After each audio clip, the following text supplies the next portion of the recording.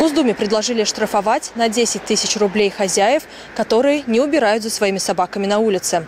Соответствующий закон рассмотрят осенью. Как к этой инициативе относятся саровчане, пойдемте узнаем. Считаю, что нужно. Почему? Ну, потому что тут дети на площадках гуляют. Как бы можно наступить, как бы, ну, и вообще это эстетично, некрасиво. Особенно вот э, после зимы и весной. Как бы вот все это всплывает некрасиво. То есть штрафы будут уместны? Я думаю, да. Нет, ну зачем? Почему? Ну, удобрение. Вам не мешает вот то, что это все лежит? Да как всем не замечает. Хожу вот, не, не, не встречал. А весной? Ну нет, не- у меня такой нет проблем, что я вот такая. Если бы натыкался, ну, может быть, наверное, был бы за. Не знаю насчет хозяев, нужно просто культуру поднимать в обществе. То есть штрафы это не Штрафы- могут сделать? Нет. А как от этого культурнее человек станет? Его внутреннее состояние как изменится? Что он будет а, изменить свое мышление, как-то сознание?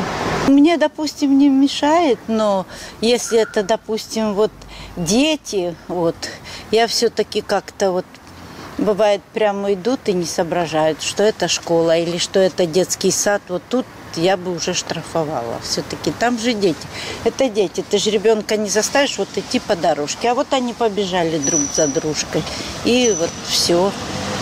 Ну, не знаю. Вот тут я считаю, где детские учреждения, все-таки запретить. Обязательно. Ну, надо, если завел животное, нужно убирать. Или в отведенное, определенное, отведенное место нужно собачку водить, как говорится. Собаку нужно ухаживать. И природу, бережем природу, конечно. Штрафы помогут справиться с этой проблемой? Я думаю, что да. Смотря какие Будет штрафы. и чище будет. У нас даже была собака с э, мужем. Мы всегда ходили вот туда, на лыжную базу. Мы никогда во дворе ничего не делали. То есть это мешает? Без- безусловно. А ходить-то как? Ведь и вляпаешься, и, и, и неприятно это вот видеть все, особенно весной. Штраф нужно платить? Наверное, да.